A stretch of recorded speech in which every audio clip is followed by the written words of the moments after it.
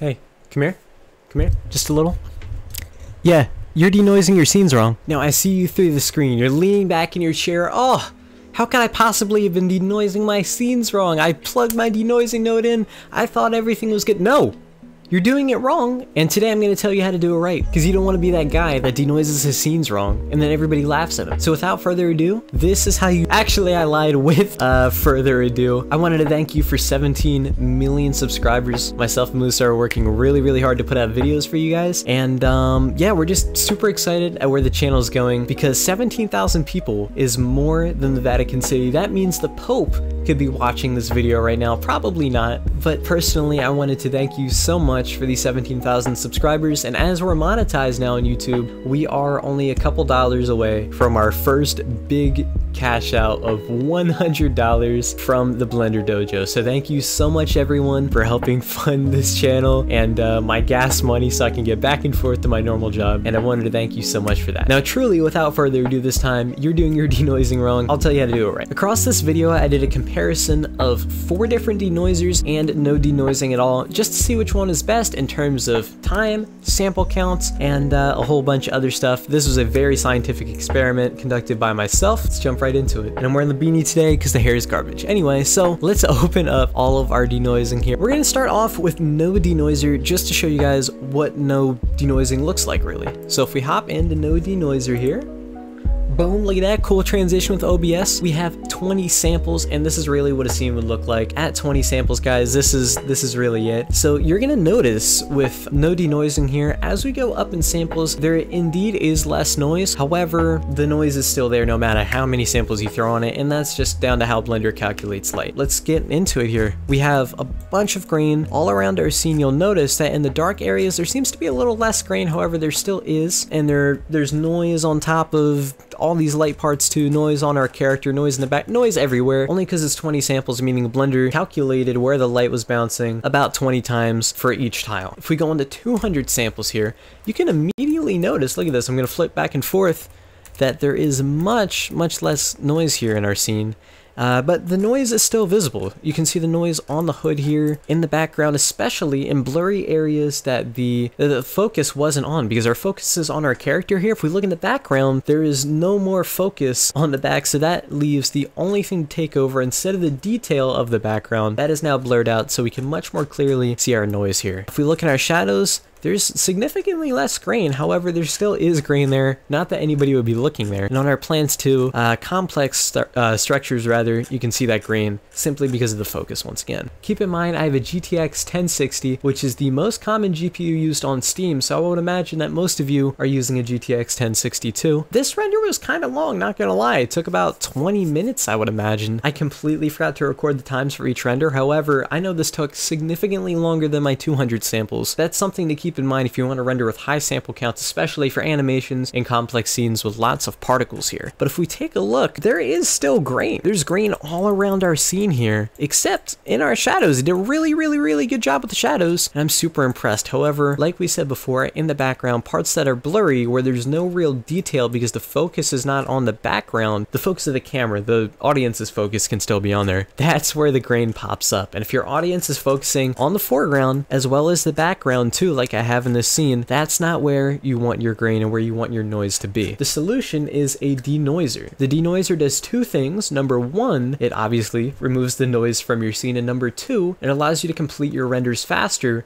with the same quality because you can render something with 200 samples and no noise at the same rate that it would take for you to render something with 1000 samples with a lot of noise. So it cuts down on your render time and it removes the noise, which is a win-win. Win for everyone really, and the computer doesn't have to do any more processing, so win for your computer, win for your hardware. Let's go into the NLM denoising because that is the initial default denoiser that Blender throws at you. If you're a beginner and you just click on the tab here, if we hop in, we see a bunch of artifacts. Now, if you don't know what artifacts are, they're kind of weird things that are going on with your image that weren't in the original render, and if you rendered it properly, wouldn't be there anymore. A quick example of some artifacts might be something like fireflies. Now, if you look at the scene, I have white dots all around the scene. These are not fireflies. These were very intentionally put in there just to add some detail to our scene and add some spice to it. However, fireflies are individual white pixels that uh, Blender messes up rendering, and it appears appears a lot brighter in the scene than everything else, giving them the name fireflies because they look super bright and they're just kind of very distracting. Now instead, once again, if we look at our scene, it almost looks like somebody took their thumb and then shoved their thumb into the scene, putting a bunch of thumbprints on our buildings, on our character here. If you take a look, there's some right here, some right here, and it makes it so bad that you can't really read these words anymore. You know, I, I can tell this is a 20, but I can't really tell what anything else says. There's much more apparent kind of in the background here. Got these very thumb stamped looking like artifacts in our scene. Now this is okay because this is 20 samples. However, if we move up to 200 samples, you can kind of see the same thing around this ladder. Looks very strange, especially things that are out of focus here. You know, some more artifacts around these plants. And artifacts aren't necessarily good because they're not something you planned to be in your scene. They're not something you plan to have. Right over here, look at this. Along the edge of this leaf, it looks like it's shaking, you know, vibrating in a way, and you definitely don't want that in your scene. If we move over to the final one, NLM denoising with two, sorry, 1,000 samples, we still have these artifacts here. Although this would take the noise out of your scene and would make it less apparent, it does add these artifacts. So with NLM, you have artifacts, and then you have noise, you kind of swap them in the sense that you remove the noise and then you add in some artifacts because it's trying to get rid of the noise. So with NLM, you trade noise for artifacts in your scene. Now that can be good for some of you if you like having artifacts in your scene. However, there's a better solution with open image denoising. Open image denoising is another option all the way at the bottom of your denoising options, which allows your scene to instead trade noise for blurriness. Now let's take a look at what I'm saying here. This was rendered with 20 samples in open image denoising. This immediately, I'd say even looks a lot better than our 1000 samples with the NLM denoising. If we take a look around, there are no artifacts. However, this scene is not as sharp as it was originally meant to be. We can still read these words. Everything kind of looks blurry here. And let me give you an example of what I'm talking about. If we move up just by a little,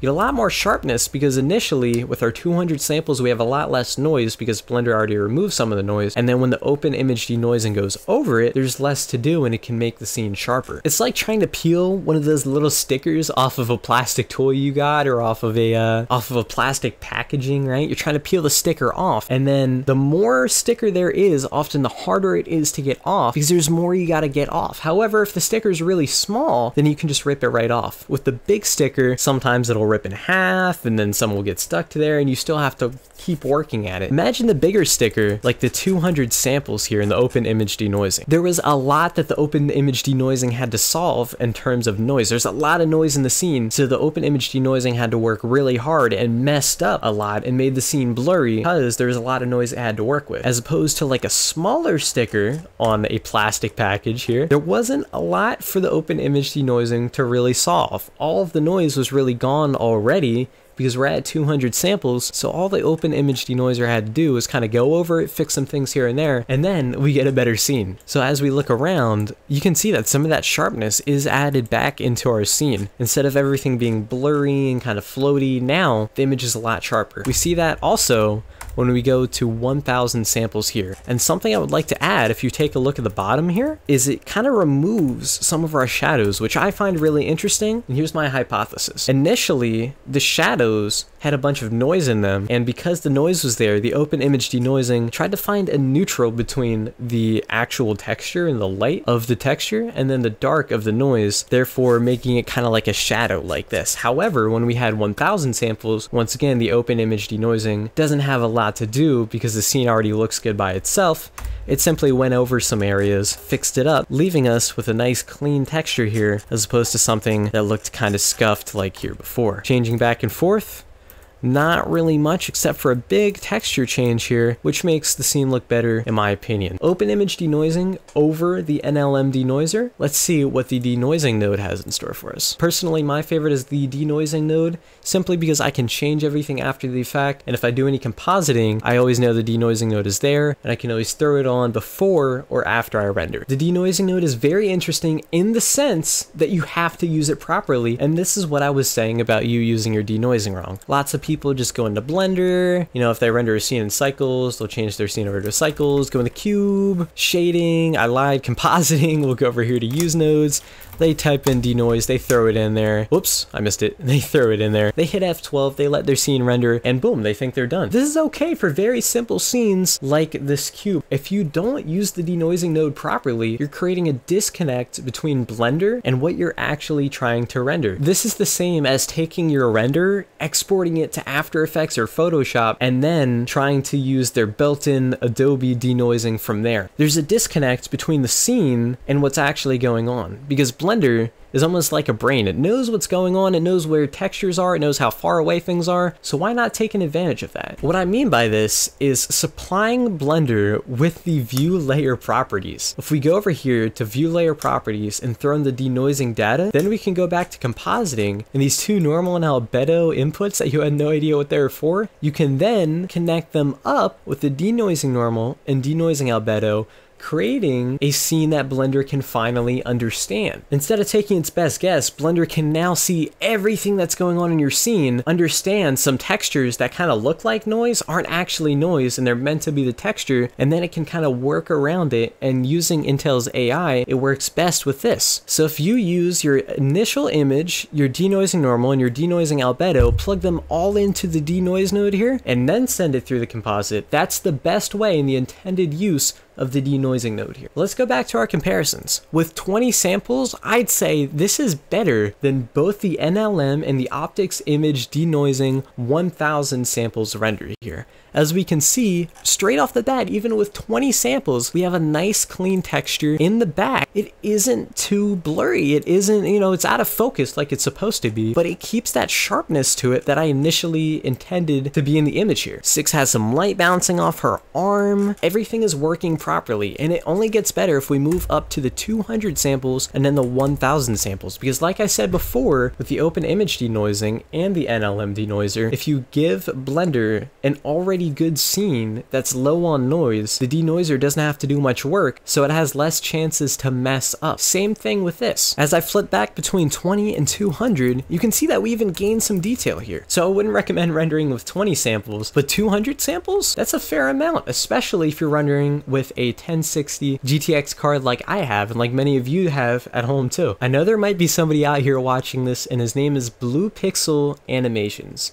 The man somehow was able to obtain an RTX 3090 and a 3080 within a short time period, so for him, 200 samples could be done in half a second. However, if you're like the rest of us and have to render on a GPU that's 6, 7, 8 years old, then this is the best way that you can render your scene. 200 samples, which is fairly good, gives Blender a decent amount of noise, but not a lot, so the denoiser doesn't have to do a lot, and then when the denoiser does work, it doesn't mess up as often because there isn't as much noise in the scene as if you were to render with 20 samples. When we go up to 1000 samples, we barely see a change, and I'm flipping back and forth here in case you couldn't tell between the 200 samples and then the 1000. All we see is just a very slight increase in detail. So in my opinion, rendering with 200 samples and saving 10 to 15 minutes is way better than rendering with 1000 samples and getting that little bit of detail out of your scene. So like I said at the start of the video, you have been rendering wrong and uh, I'm happy that I could save you today because I just found this out myself. The reason why I started this YouTube channel, and I heard CG Matters say this as well, which I find funny, is because I wanted to provide videos for people that had the same problems I did and that didn't know how to solve them because every place they looked on the internet, they couldn't find a solution. So the reason why your denoising is bad and you can upgrade your denoising is by throwing in both the denoising normal and the denoising albedo with your noisy image here, with your initial image rather. So once again, we wanted to thank you so much for 17. Once again, we wanted to thank you for 1,700 subscribers. I might have said 17,000 at the start of this video. I hope I didn't.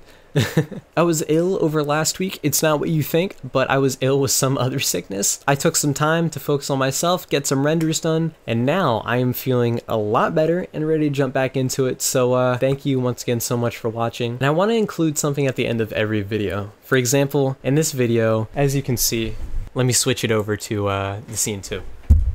There's a 5. 5 o'clock in the background. That's 5 a.m. I'm currently destroying my sleep schedule. Actually, I'm not because I would have been up anyway. But it's currently 5 a.m. and I'm up here making this video. I was sitting down on my couch and I was flipping through Instagram, Twitter, whatever it is, and not really getting anything productive done with my time. As I get older and older, I start to realize how important making good use of your time is, and I want to make the most of it, especially because I just turned 20. Most of the time, I lack the motivation to stand up, sit in this chair, and make a video. I really enjoy making the process, however, every time I'm I'm not motivated to do it. I'm excited to do it. However, I don't I don't physically have the motivation to stand up, put something nice on, sit down, and then make a video. This is a normal human thing and everyone goes through it, so if you're suffering through the same thing, know that you aren't alone. Everyone has to deal with it, whether they show it to you or not. The best thing you can do if you have this problem, this issue, it's not even an issue because it happens to everyone, but the best thing you can do if this is happening to you is to just get up and do it. That's why Nike's slogan is so successful, just do it. It's because that's what you need to do. There are millions of people out there every day, professional athletes. I personally follow MMA and the UFC, so tons of UFC athletes, tons of MMA people, track runners, Olympians, whatever it is. Sometimes they just want to take a day off. They don't want to get up. However,